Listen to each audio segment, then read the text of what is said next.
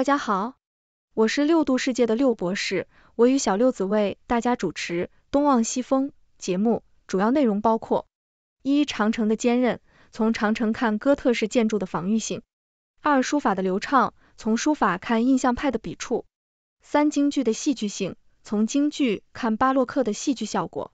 那么，小六子可以先跟我们说说长城的坚韧，从长城看哥特式建筑的防御性。各位同学，今天我们要探讨一个非常有趣的话题：长城的坚韧与哥特式建筑的防御性。你们可能会问，这两者有什么关系？别急，听我慢慢道来。首先，我们来看看长城。长城这个中国古代的伟大工程，堪称是人类历史上的奇迹之一。它不仅是为了抵御外敌入侵，更是展示了古代中国人的智慧和毅力。长城的设计非常巧妙，利用了地形的优势，蜿蜒曲折。宛如一条巨龙盘踞在山脉之上，它的墙体厚实，城楼高耸，烽火台密布，形成了一道坚不可摧的防线。现在，让我们把目光转向欧洲的哥特式建筑。哥特式建筑以其高耸的尖塔、飞扶壁和彩色玻璃窗闻名于世。你们可能会觉得，哥特式建筑主要是为了宗教和美学目的而建造的，和防御性有什么关系呢？其实，哥特式建筑在设计上也有很多防御性的考量。首先，哥特式教堂的高耸尖塔不仅是为了接近上帝，更是为了在战时充当瞭望塔。站在高处可以远眺敌情，提前做好防御准备。其次，飞扶壁不仅是为了支撑高大的墙体，还可以在战时作为防御工事的一部分。再者，教堂的厚重石墙和狭窄的窗户设计，使得敌人难以攻破。有趣的是，长城和哥特式建筑虽然分属不同的文化背景，但在防御性设计上却有着异曲同工之妙。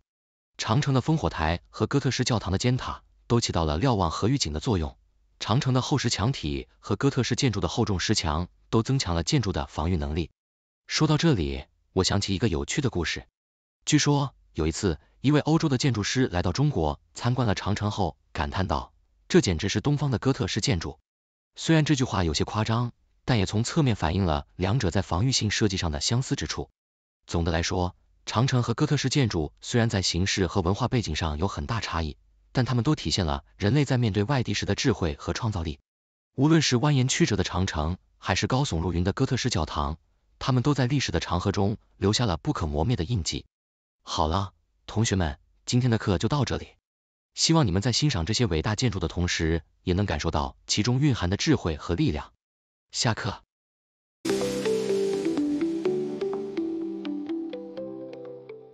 谢谢小六子的介绍，那再跟我们介绍一下书法的流畅，从书法看印象派的笔触。书法与印象派绘画，这两者看似风马牛不相及，但实际上他们在艺术表现的流畅性和笔触的运用上有着奇妙的共通之处。让我们从书法的流畅性谈起，逐步揭开这两者之间的神秘联系。书法，尤其是中国书法，讲究的是笔走龙蛇及笔触的流畅与自然。书法家们通过对毛笔的掌控。创造出或刚劲有力，或婉转柔美的线条，每一笔一画都蕴含着书法家的情感和心境。比如王羲之的《兰亭序》被誉为天下第一行书，其笔触如行云流水，既有力道，又不失灵动，仿佛能让人感受到他在兰亭雅集时的愉悦心情。而印象派画家们，尤其是莫奈、雷诺阿等人，他们的画作同样注重笔触的流畅性。印象派的画作常常以快速、短促的笔触来捕捉瞬间的光影变化。莫奈的睡莲系列便是通过无数细碎而流畅的笔触，展现出水面上光影的变幻与流动。可以说，印象派画家们的笔触，正如书法中的飞白，在看似随意的挥洒中，蕴含着深厚的技巧与情感。有趣的是，书法中的飞白技法，正是通过笔锋的变化，制造出一种断续的效果，仿佛笔尖在纸上飞舞，留下了轻盈的痕迹。而印象派画家们的笔触，也常常是断续的、跳跃的，仿佛在画布上舞动的精灵。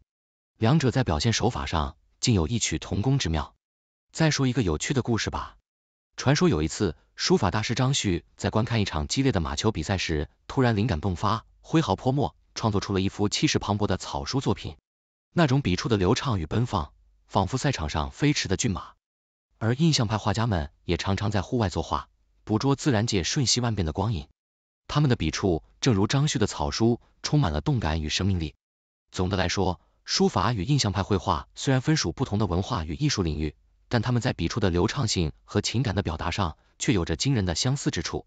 无论是书法家在纸上挥洒的墨迹，还是印象派画家在画布上跳跃的色彩，都是艺术家们心灵的舞动，都是对美的追求与表达。希望大家在欣赏书法和印象派绘画时，能感受到那份流畅与灵动，体会到艺术的无穷魅力。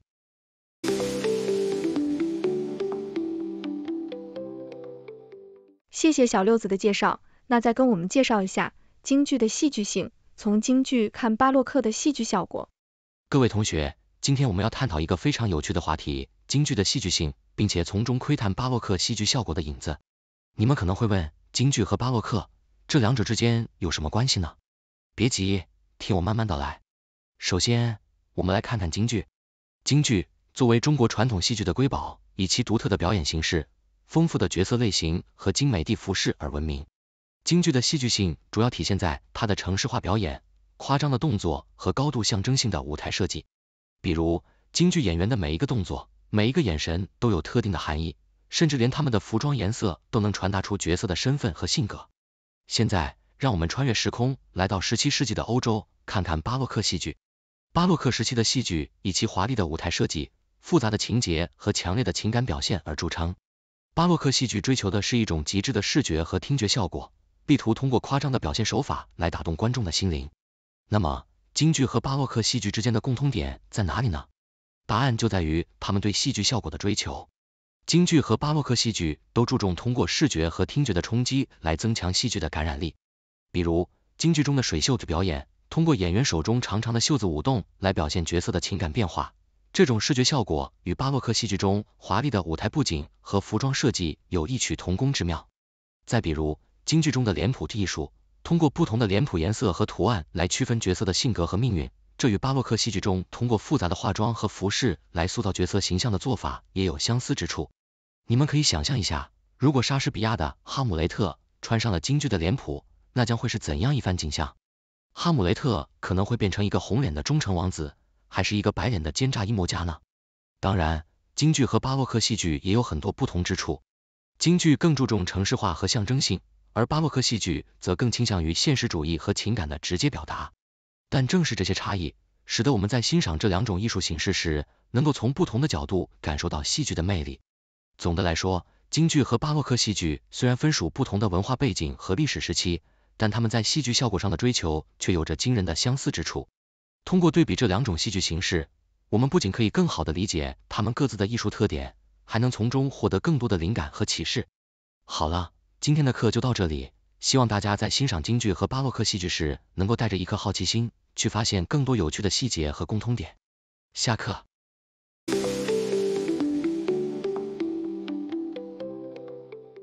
各位同学，这次我们的探索之旅就到此结束了。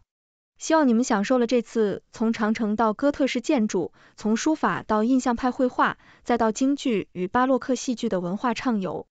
总结一下，我们发现长城和哥特式建筑在防御性设计上有着异曲同工之妙，书法与印象派绘画在流畅的笔触和情感表达上有着惊人的相似，而京剧和巴洛克戏剧则在戏剧效果的追求上找到了共通点。尽管它们来自不同的文化和历史背景。但这些艺术和建筑形式都展示了人类的智慧和创造力。深入分析这些不同文化的艺术形式，我们不仅能够更好地理解它们各自的独特之处，还能从中引发更多的思考和灵感。比如，在欣赏长城和哥特式建筑时，我们可以思考如何利用地形和建筑结构来增强防御能力；在研究书法和印象派绘画时，我们可以探索如何通过笔触和色彩来表达情感。而在观赏京剧和巴洛克戏剧时，我们可以学习如何通过视觉和听觉效果来增强戏剧的感染力。各位同学，我是六度世界的六博士，非常荣幸能与大家分享这些有趣的知识。如果你们对今天的内容有任何想法或问题，欢迎在评论区与我互动。你有什么样的想法？下次我们会继续探索更多有趣的主题，敬请期待。感谢大家的关注和参与，下次再见。文末别忘了给我点个赞哦。谢谢大家收看六度穿越系列节目这个节目由媒体专业人士科学家工程技术人员编纂设计制作。但是这些内容并非用于做出决策或法律裁定的基础。欢迎在节目留言区发表您的见解纠正节目可能存在的错误。谢谢大家收看欢迎订阅我们的频道给我们节目点赞。Another crazy day. Six degrees of stories Connecting in their way. From the weather to the sports And everything we see. People making news on TV screens for free.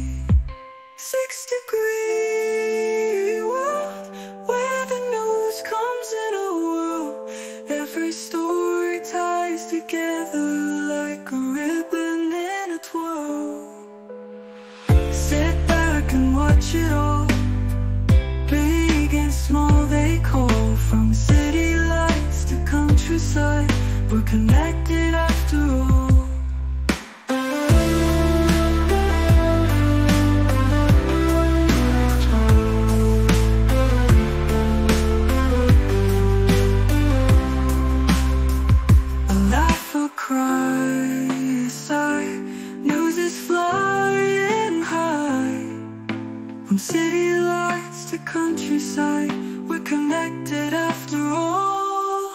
The love, the cry